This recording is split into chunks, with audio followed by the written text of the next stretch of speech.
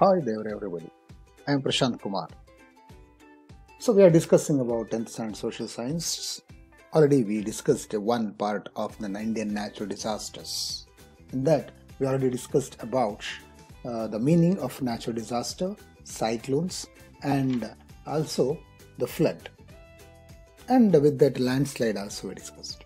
So, what are the causes for that? And what are the effects? And how can we prevent it? All these things we discussed.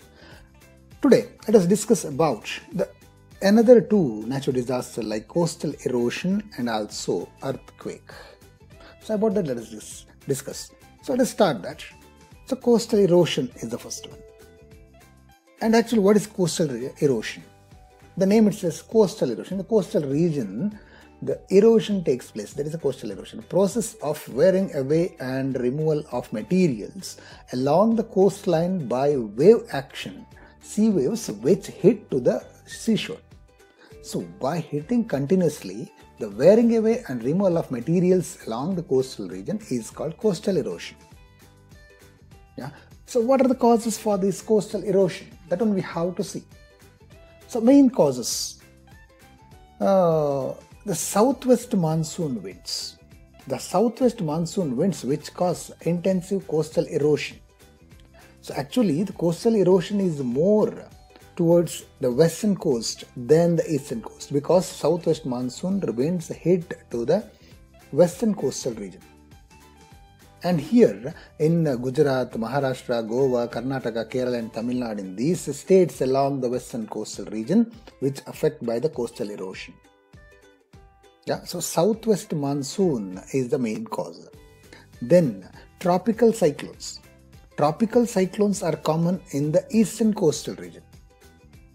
Yeah, so most of the destruction during the northeast monsoon season, in the southwest monsoon season, which hit to the western coastal region. Northeast monsoon season at that time, the tropical cyclones hit to the western coastal, eastern coastal region. Yeah, southwest, western coastal, northeast eastern coastal. So there in the Bay of Bengal, which causes serious erosion along the east coast, uh, including their Tamil Nadu, Andhra Pradesh, Odisha, etc. And another one, tsunami. And uh, here the tsunami is the large waves generated by earthquake. Inside the sea, if it earthquake happens, if we shake the vessel with water, what happens? The water will overflow. Same thing here, big waves will come because of the earthquake in the sea. And because of big waves, the sea uh, coastal region erosion common. And especially we can see this one in Andaman Nicobar Islands and eastern coastal region. Okay, so these are the causes and the distribution of this uh, uh, coastal erosion. Yeah, so with that, human interference also helps in coastal erosion especially removal of sand, construction of uh, uh, breakwater are the main cause. Yeah, so these are the main causes, natural and man-made causes for this coastal erosion. Next, we have to discuss about the effects of coastal erosion. Especially because of coastal erosion, trees and buildings of coastal area can be washed away full on the coastal region, whatever may be the buildings or uh, houses, uh, trees, etc., washed away and uh, merge into the sea. And the roads, railway lines, bridges, etc., along the coast can be damaged. Here you can see roads, etc., will damage. Here Here is the sea, because of sea wave, it will damage. And coastal areas can remain flooded over a long period, uh, period of time required uh, settlement of people. Yeah, so this coastal erosion, so that area so for long period it will be affected and a long period of time is required for resettlement of the people there because that much damage it will create. So there is the effect of this uh, uh, coastal erosion. Next we have to discuss about the how to prevent it. Can we prevent this? Yeah. So it is possible but uh, completely not possible but we can reduce that construction of sea walls, groins and breakwaters. Along the coastal region, sea walls we can construct or groins. Groins is uh, a series of uh, groins or including huge uh, rock mass- masses or concrete logs which were uh, collected here you can see so by that what happens the sea waves which will hit to this one and erosion will be stopped is the main thing. Yeah? Uh, and uh, planting of trees to stabilize the breaches uh, stabilize the beaches and coastal dunes. There uh, mangrove forests etc we can uh, grow in the delta regions and other uh, regions we can. So these uh, roots of the trees they will hold the uh, soil tightly. As a result erosion can be reduced. Yeah uh, and actually breakers so some breakers we can construct. There is a barrier built into sea to check the impact of waves and protect the coastal region. Yeah breakers we can. Breakers are the barriers. Okay so these are the preventive measures we can take. So this is about uh, coastal erosion. Next we have discussed about uh, another uh, biggest uh, and violent uh, destruction that is earthquake what is earthquake violent vibration in the earth's crust outer cover it is called vibration there that is earthquake yeah uh, it is the worst natural hazards which often results in disaster. One of the worst natural disasters it is, which creates huge destruction. What are the causes for that? Plate movement. In the earth, inside the earth, the plate uh, movement is, you know, because of that. It is possible. Volcanic eruption. Because of volcanic eruption uh, from inside, magma it is coming out. Inside it will be uh, pressure increase, no, it will come out at the time that gap happens there it is the shaking and faulting and folding of the land because of the pressure from uh, both the sides the land will fold himalaya actually uh, came up because of that fold mountains they are gondwana and angara land between that this pressure increased. And in the book if we pressure the page will come up no like that land also came up. And uh, uh, landslides also results. Because of the landslide it earthquake will happen.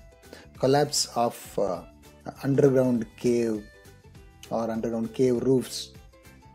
So because of the caves inside uh, that will collapse as a result uh, above it will be shade.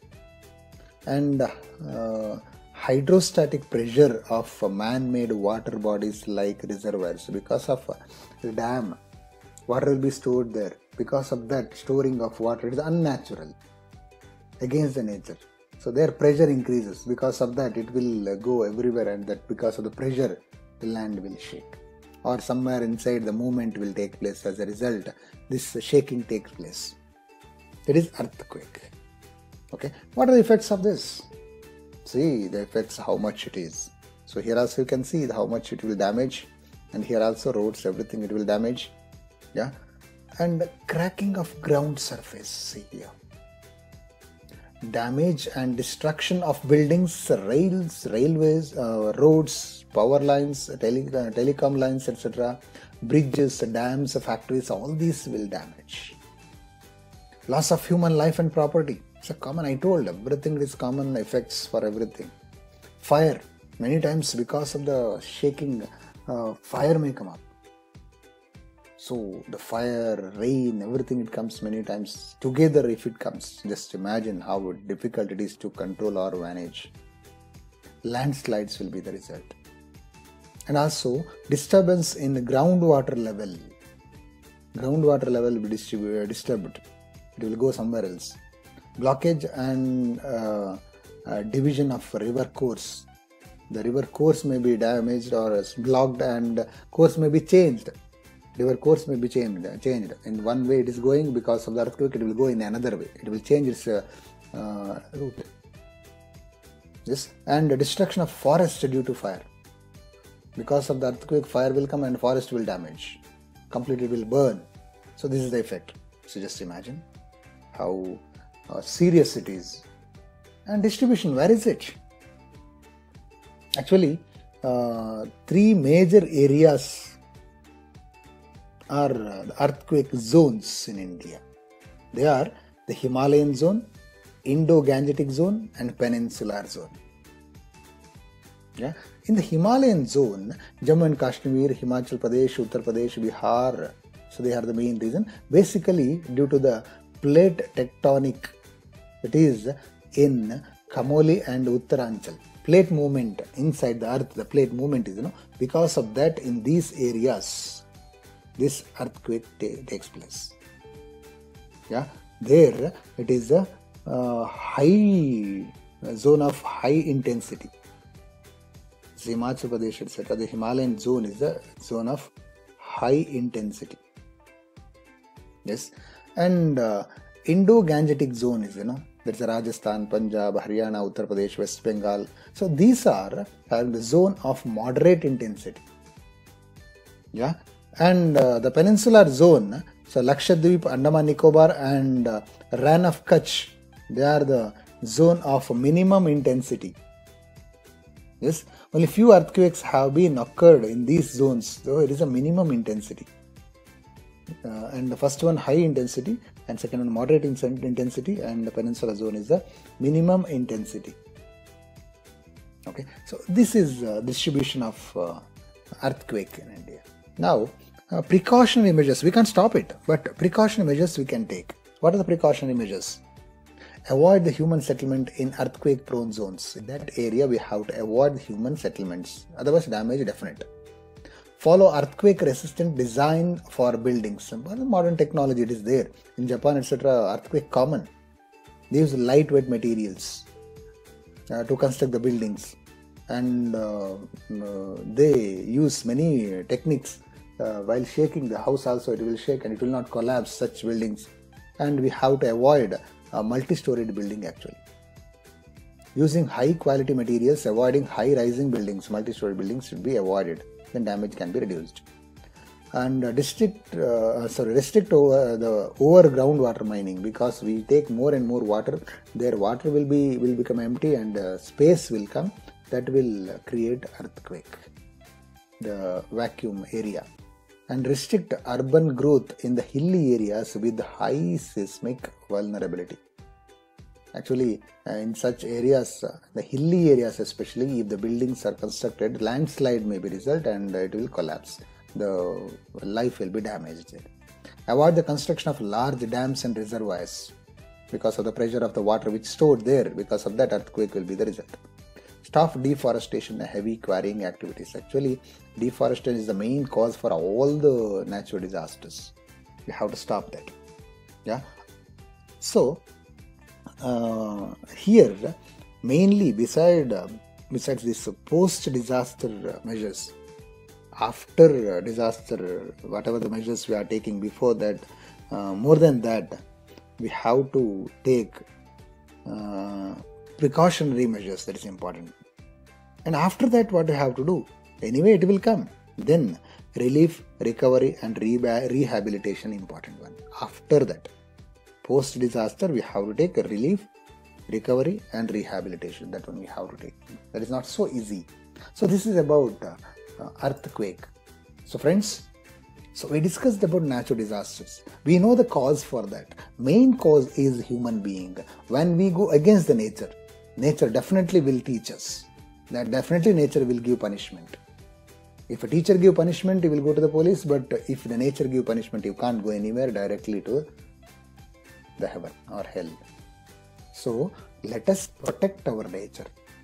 Let us go with the nature. We are also an animal. So we have to live with this nature. We should not go against the nature. Let us protect the nature. Thank you for listening to me. Thank you very much. Let us let me come with another video next. Please subscribe and hit the bell icon and get the next video. Thank you. Thank you very much